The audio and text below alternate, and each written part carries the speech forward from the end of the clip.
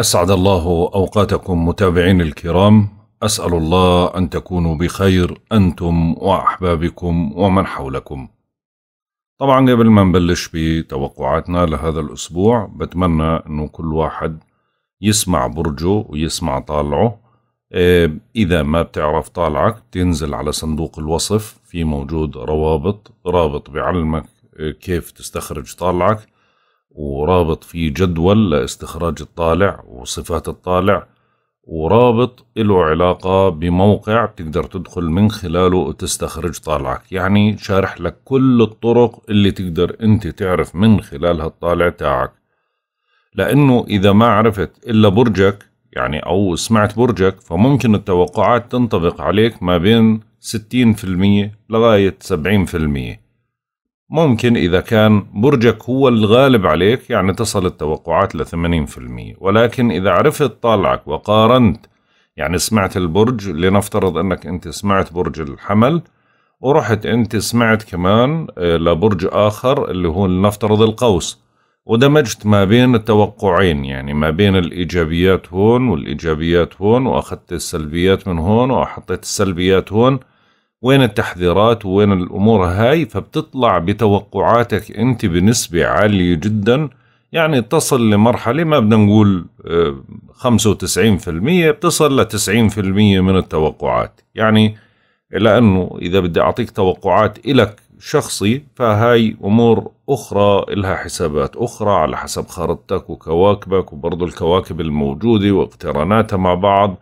تحولاتها تحولات الكواكب هاي كل سنة أو التحولات السنوية يعني بمعنى آخر إنه إشي خاص فيك أنت. ولكن عشان نقرب المسألة لأقرب خانة ممكنة من التوقعات فأنا بقول لك اسمع برجك واسمك طالعة اسمع طالعك طبعا بالنسبة للكواكب خلال الفترة هاي أو التنقلات اللي راح تصير خلال الأسبوع هذا من يوم الخميس اللي هو 2 سبعة القمر راح يكون متواجد بالقوس ما قبلها طبعا ولكن إحنا بنقول من يوم الخميس اللي هو اليوم اللي هو نشرنا للتوقعات وراح يستمر موجود فيه لغاية صباح يوم السبت أربعة سبعة.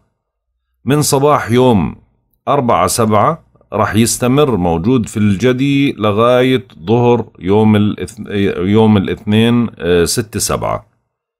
من ظهر يوم الاثنين ستة سبعة رح يتواجد لمنتصف ليل اليوم الأربعاء على الخميس. إيه، يعني بكون موجود بالدلو. من منتصف ليل الأربعاء على الخميس ولغاية صباح يوم السبت 11 سبعة بيكون موجود القمر بالحوت. ومن صباح طبعا يوم السبت وما بعد بيكون موجود بالحمل. هاي مختصر لتحركات القمر كيف رح يتحرك خلال هذا الأسبوع. طبعا عشان تعرف خلو المسار ما بين الانتقال والانتقال الزوايا الفلكية الأمور هاي كلها بتتابع الأخبار اليومية لأنه في إحنا في التوقعات اليومية بنعمل كل البيوت يعني مش بس على العاطفة وعلى العمل وعلى الأمور هاي اللي متعودين أنتم تسمعوها لا إحنا بنعمل على كل البيوت اللي إلها علاقة بكل مسارات الحياة. يعني بتبدأ من مرحلتك الشخصية وبتنتهي لغاية بيت متاعبك والأمور الضاغطة عليك وال... والأحداث اللي ممكن تمر عليك آه، بخلال اليوم بتفاصيله اللي بنحاول قدر الإمكان أن نغطيها بالكامل. خلينا نروح على أول إشي نشرح نشوف الكواكب وين موجودة بالنسبة لبرجك. برج السرطان. طبعا معروف إنه الفترة هاي شوي فيها نوع من أنواع التقلبات لأنه الشمس لسه ما وصلت لعيد ميلادكم بالكامل. فعشان هيك اللي لسه ما اجى عيد ميلاده بشعر لسه في بعض التعب أو بعض الأمور اللي مخربطة معاه الأمور مش ظابطة معاه. حتى اللي اجى عيد ميلاده بلاقي إنه عطارد اللي برضه موجود بسبب نوع من أنواع المشاكل لإله على المستوى الشخصي والتقلبات النفسية. أو الحدية في الطباع أو نوع من أنواع الخلل اللي بتسبب له نوع من أنواع الوساوس والقلق والأفكار السوداء بيعمل نوع من أنواع المشاحنات الخلافات أو ردات الفعل السلبية. وهي هيك حكينا إحنا عن الشمس وعطارد اللي بتراجع وموجود عندكم. لغاية عيد ميلادكم تقريبا الأجواء بتصير إيجابية ما بعدها ولكن ما راح تصير بالشكل اللي أنت بدك إياه إلا بعد ما ينتهي تراجع عطارد اللي راح ينتهي يوم 17 الشهر ومنزيد عليها ثلاث أيام يعني لواحد وعشرين الشهر. عشرين الشهر تقريبا بتصير الأجواء جيدة وهيك بكون الشمس غطت على كل مواليد السرطان فبتبلش الإيجابيات وفجائية على الأغلب. أما بالنسبة للزهرة اللي موجودة في بيتك 12 فهي بتعزز أمور أنت كنت تخاف منها. بتجيب لك أشياء عشان تتجارأ. بتجيب لك فرص على مستوى العمل. وبرضه بتخليك تنجز أعمال ك يعني أنت بتفكر إنه صعب إنك تنجزها ولكن عندك قدرة على إنجازها. بتخليك تتوهم أمور إلها علاقة مثلا بالصحة بتلاقي الزهرة دعمت أمر الصحة ونجتك من أمور أو ساعدتك في أمور أو أعطتك طاقة لتجاوز هاي الأمور. يعني بتشحنك لتقاوم المرض هذا أو تحسن صحيا أو تهتم أو تعطيك إيحاءات أنت تتوجه لوين عشان أنت تساعد نفسك. وبرضه بتحميك من أشياء إلها علاقة بالناس اللي بتآمروا عليك بتكشف لك أشخاص بتكشف لك مؤامرات بتكشف آه، خبث بعض الأشخاص بطريقة التعامل معك أو ناس بتكيد لك أو يعني بتتهيئ الأجواء لإلك إنك أنت تكون عارف أو فاهم هاي المسائل. أما بالنسبة للبيت السابع اللي هو الجدي اللي مقابلك مباشرة وكل الكواكب موجودة فيه وضاغطة عليك بشكل كبير وخصوصا أنه بلوتو والمشتري وزحل الثلاث موجودات وبيتراجعوا في بيت الشراكة. هذا بسبب لك خلافات مع شركاء المال وبرضه مع شركاء العاطفة اللي هم الأزواج أو هاي تحديدا الأزواج هم أكثر ناس بيعانوا منها. فعشان هيك بتحدث خلافات أو مشاكل فجائية أو سوء تفاهم أو نوع من أنواع التقلبات وهاي الإشي له يعني أكثر من سنة. يعني عشان هيك يجي واحد من السرطان ويقول لا حياتنا إحنا فيش أحلى منها روح شوف طالعك. أغلب السرطان بيعانوا من أمور إلها علاقة بالشراكة المالية والعاطفية الأغلب. فعشان هيك خصوصا المتزوجين. ف... وبرضه بتفتح مجالات إلها علاقة بالقانون أو القضايا أو الأمور القضائية ولكن الأهم الخلافات. أما بالنسبة للبيت العاشر لإلك موجود في المريخ. فعشان هيك يعني الحمل هذا وبيت السمعة. فهذا بخليك شوي تخاف على سمعتك أكثر.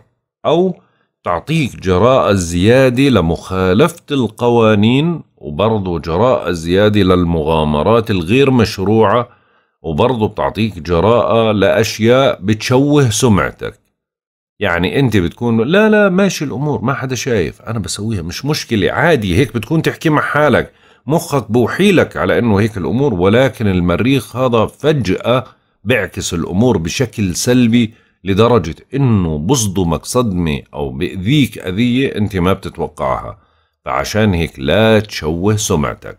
وفي نفس اللحظة لا تتأخر عن عملك لا تدخل بخلافات أو صراعات ما بينك وبين زملائك ورؤسائك بالعمل بالفترة هاي لأنه أقول لك من هون لنهاية السنة ابعد عن هاي الأمور نهائيا لأنه المريخ قاعد في بيت السمعة عندك لغاية نهاية السنة يعني لبداية شهر واحد.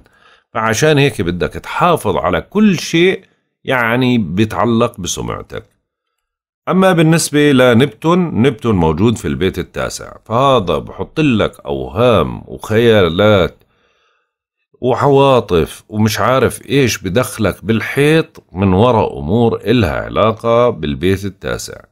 يا علاقات عاطفية واهية وفاشلة مع أشخاص خارج البلاد يا إما بيصيبك الوهم على إنه بتقدرش تقدم امتحان يا إما بيعطيك وهم إنه أنت بتقدرش آه، إذا آه، جاك منصب بتقدرش تديره.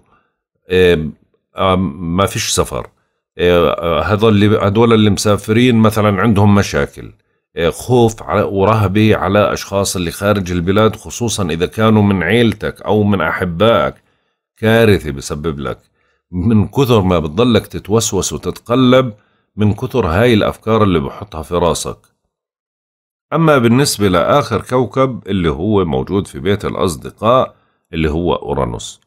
وبما أنه أورانوس معروف عنه كوكب المفاجآت فهذا بحدث أشياء مفاجئة ما بينك وبين أصدقائك. يا بعرفك على أشخاص بشكل مفاجئ جدا وبصيروا من أعز أصدقائك وبتستفيد منهم وبيدعموك بشكل قوي جدا. يا فجأة بكشف شيء وبنهي علاقة صداقة إلها سنوات وما بتعرف شو السبب أو كيف تطورت الأحداث لتنتهي العلاقة. يا إما بتكون بدك تعمل أنت مناسبة أو مدعو على مناسبة أو حفلة وفجأة بتلاقي كل الأمور التغت وتخربطت. يا فجأة بتلاقي الدعوة إجتك بشكل مفاجئ مش متوقع وبرضه بتيجي لصالحك. هاي كل النقاط اللي بيعملها أورانوس. خلينا نروح على توقعاتنا الأسبوعية ونشوف تأثيرات القمر إيش بدها تكون عليك خلال هذا الأسبوع. من اليوم الخميس وحتى صباح يوم السبت القمر موجود بالقوس. عشان هيك بالفترة هاي تنجزوا أو انجزوا ما بوسعكم من العمل المتراكم دون المبالغة آه، في ذلك.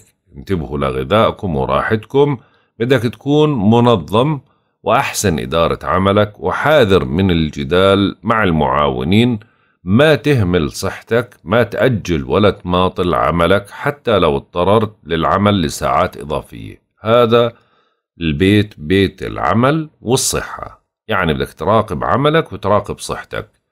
من صباح يوم السبت وحتى ظهر يوم الاثنين القمر بصير موجود بالجدي. فعشان هيك بالفترة هاي بينصب اهتمامكم حول تدعيم شراكاتكم سواء في العمل أو العاطفي. فترة مناسبة للقيام بعمل مشترك. الأجواء ممكن تكون شوي متوترة. ركز بشكل جيد وما ترتجل. هاي الأجواء ضاغطة نسبيا والمسؤوليات بتكون فيها كبيرة. هدئ من روعك وما تنفعل. أما من ظهر يوم الاثنين وحتى منتصف ليل يوم الأربعاء على الخميس بصير القمر موجود في الدلو. بتعيدوا تنظيم أموركم المالية المشتركة والفرصة بتكون متاحة لمكسب مصدر شراكة أو تعويض أو قرض. ادخل التعديل المطلوب على نمط حياتك لتتماشى مع التقدم والتطور في في محيطك. بيطمئن بالك وبتفرح لتطور معين فترة جيدة لتصحيح خطأ أو لتكرار محاولة سابقة. من منتصف ليل يوم الأربعاء على الخميس وحتى صباح يوم السبت القمر بصير موجود بالحوت. فعشان هيك بالفترة هاي بتنهمكوا في إعادة تنظيم أموركم المالية المشتركة والفرصة متاحة لمكسب من شراكة أو تعويض. مع هيك بدكم تخففوا من النفقات. ممكن تخوض تجربة مطمنة أو جديدة تتلقى جواب إيجابي ممكن تفرح بالفترة هاي بأمور إلها علاقة بالسفر أو اتصالات بعيدة أو اتصال يجيك من بعيد أو خبر يجيك من بعيد أو شخص يكون جاي من مكان بعيد أو عقد ناجح. ممكن تصادف دعم وتشجيع أهم شيء إنك ما تقف متفرج. وبرضو بالمقابل هاي بتفتح لك أمور إلها علاقة بالدراسة أو الدورات. هيك بنكون انتهينا من توقعاتنا لهذا الأسبوع والله أعلم. يا رضا الله ورضا الوالدين سبحانك اللهم وبحمدك أشهد أن لا إله إلا أنت أستغفرك وأتوب إليك. أترككم في رعاية الله وحفظه. إلى اللقاء.